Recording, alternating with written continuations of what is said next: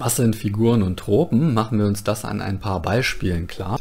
Ganz nah dran an Ihrem Alltag sind ja solche Sätze. Das habe ich mit eigenen Augen gesehen. Was passiert da?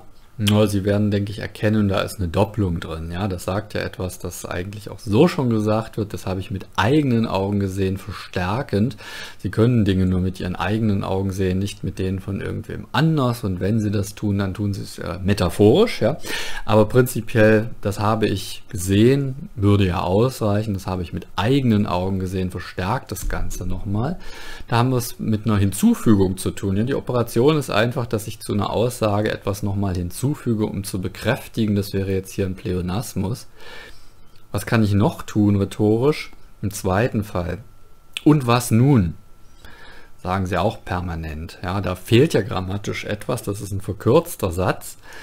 Vollständig müsste der heißen, und was ist nun los? Was ist nun eigentlich passiert? Ja, da fehlt irgendein Verb. Und was nun?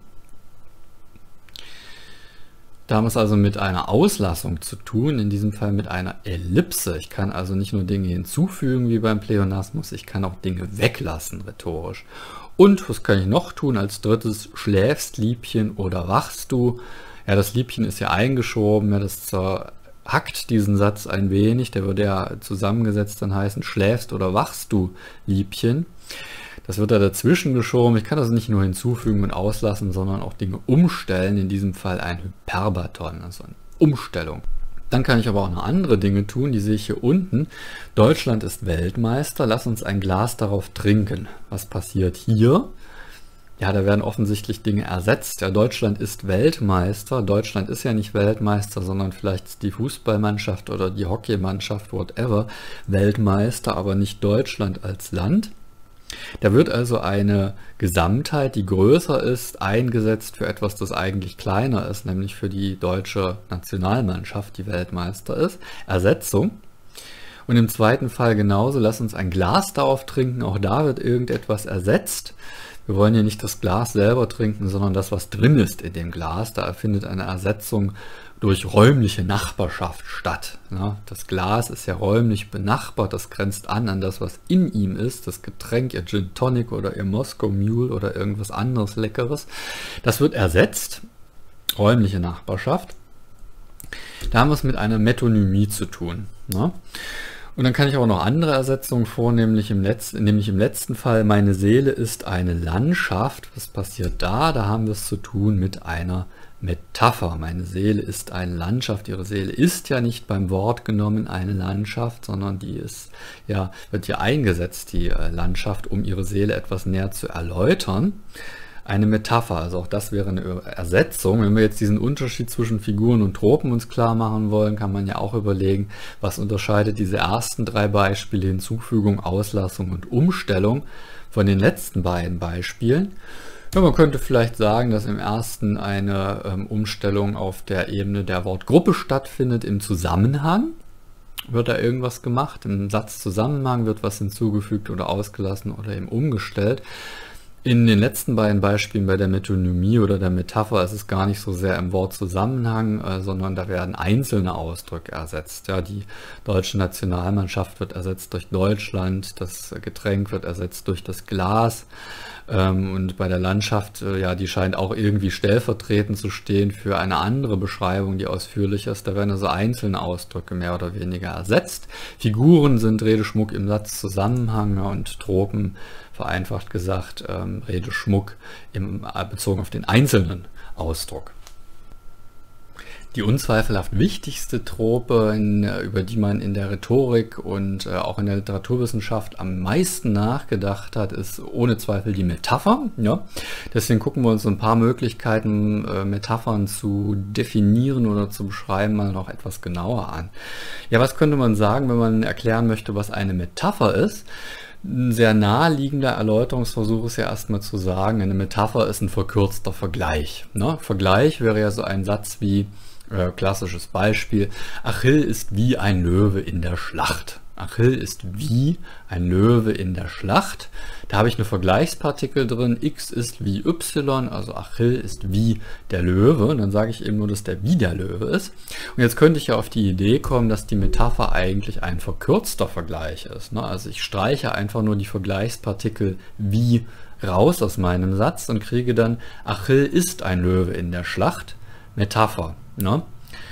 So hat man das häufig versucht, gerade in der antiken Rhetorik. Ähm, äh, da stammt auch dieses Zitat her von Quintilian, ist das Metaphora brevior est similitudo, also die Metapher ist ein verkürzter Vergleich, ganz wirkungsmächtige Definition. Was kann man jetzt dafür oder dagegen sagen? Das scheint ja intuitiv erstmal einzuleuchten. Es verdeckt aber auch ein wenig, dass solche Sätze eigentlich einen ganz verschiedenen Stellenwert haben. Ja, das äh, löst nicht das Gleiche in ihnen aus, wenn sie sagen, Achill ist wie wie ein Löwe in der Schlacht oder wenn Sie sagen, Achill ist ein Löwe in der Schlacht. Wenn Sie das erste Beispiel hören, den Vergleich, dann werden Sie sagen, ja, unproblematisch, ne, ist überhaupt nichts los.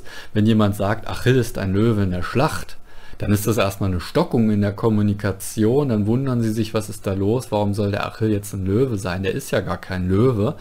Das nehmen Sie ganz anders wahr, ne? Hat also eine ganz andere Funktion. Es ist erstmal so eine Art Widerstimmigkeit, irgendetwas haut da nicht hin. Ja, Metaphern haben also kognitiv oder auch funktional betrachtet eine ganz andere Rolle als der Vergleich. Äh, da, sehen wir ein Problem, das auch bei einer zweiten Definitionsvariante auftaucht. Man hat Metaphern auch häufig beschrieben als uneigentliches Sprechen. Die sogenannte Substitutionstheorie, also Ersetzung, uneigentliches Sprechen soll nun metaphorisch sein. Wenn es ein uneigentliches Sprechen gibt, muss es auch ein eigentliches Sprechen geben und genau das ist ja der Knackpunkt. Ne? Also das unterstellt so ein wenig, dass ähm, immer da, wo ich etwas metaphorisch ausdrücke, das gleiche eigentlich auch nicht metaphorisch sagen könnte, wenn ich mir ein bisschen Mühe gebe. Ich kann also metaphorische Sprache immer übersetzen in eine rein begriffliche, nicht metaphorische Sprache. Das ist allerdings nicht der Fall. Ne? Sie können ja auch überlegen, so komplexe Metaphern wie ähm, die Welt ist ein Buch das einmal nicht metaphorisch zu sagen, das geht eigentlich gar nicht so richtig. Ne? Da müssten sie ganze Bücher selber schon schreiben, um das irgendwie zu erläutern. Ähm, also absolute Metaphern ganz, ganz schwierig. Da gibt es gar kein wirklich eigentliches Sprechen, das diesem Uneigentlichen äh, dann entspricht. Ja? Das ist ähm, eine große Schwierigkeit bei diesen Substitutionstheorien. Wenn man sich also fragt, was Metaphern leisten, kognitiv funktional, dann ähm, dienen sie vor allem dazu, etwas Unanschauliches anschaulich zu machen. Es gibt ja ganz viele Dinge, über die wir reden, die aber eigentlich überhaupt nicht anschaulich sind. Dieser Satz eben, meine Seele ist eine Landschaft, wäre so ein typisches Beispiel. Der Begriff der Seele, der ist gar nicht so richtig zu erläutern. Was sollen wir uns unter der Seele vorstellen?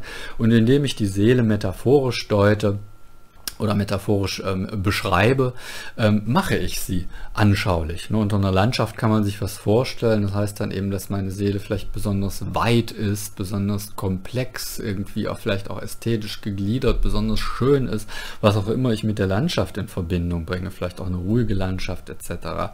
Also da habe ich ein, ein ganzes ähm, Feld an möglichen Konnotationen, das über diese Metapher mit hineinkommt. Die macht etwas Unanschauliches anschaulich und ja, verdeutlicht auch Zusammenhänge. Ne? Ich erkenne Zusammenhänge zwischen Dingen, die eigentlich sehr weit auseinander liegen. Das ist ja auch so eine äh, genuine Erkenntnisart, die mit Metaphorik verbunden ist ähm, Dinge miteinander in Beziehung zu setzen, die offensichtlich erstmal nicht viel miteinander zu tun haben. Die Seele und die Landschaft, die würden sich vielleicht erstmal gar nicht zusammenbringen.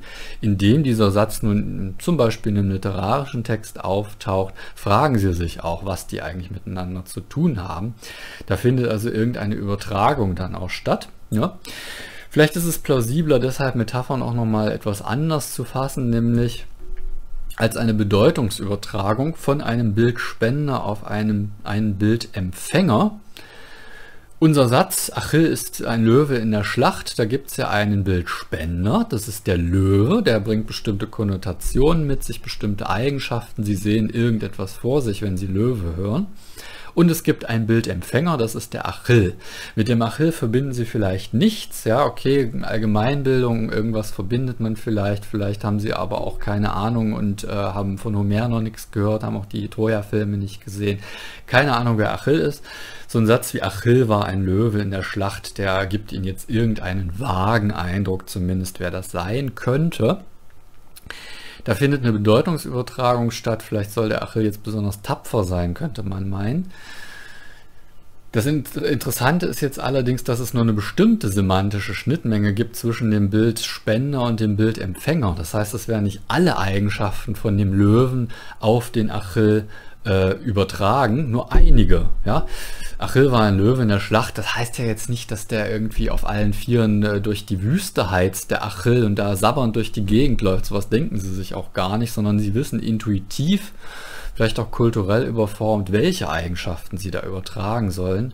Und das müssen nicht mal Eigenschaften sein, die jetzt besonders valide sind, für die es große Evidenzen gibt. Ja, der Löwe ist eigentlich ganz merkwürdig, wenn Sie sich mal informieren, ähm, zoologisch, ja, was ist mit dem Löwen los? Was ist das so für ein Tier? wenn Sie feststellen, er ist eigentlich nicht mal besonders tapfer. Also der Löwe ist das Tier, das mit Abstand am meisten schläft. Der liegt eigentlich nur rum ähm, tut gar nicht viel. Und wenn wir sagen, Achill war ein Löwe in der Schlacht, dann ist uns völlig klar, dass wir damit gar nicht mal meinen, der Achill, der pennt nur den ganzen Tag, sondern dann meinen wir irgendetwas anderes damit. Da spielen einfach ähm, kulturelle Konventionen eine Rolle. Bei der Frage, was wir eigentlich übertragen, wo also genau die Schnittmenge besteht zwischen Bildspender und Bildempfänger. So könnte ich also Metaphern definieren, ja, und das, was übertragen wird, diese Schnittmenge, das ist das Tertium Comparationis zwischen den beiden. Übertragung von Eigenschaften von einem Bildspender auf einen Bildempfänger.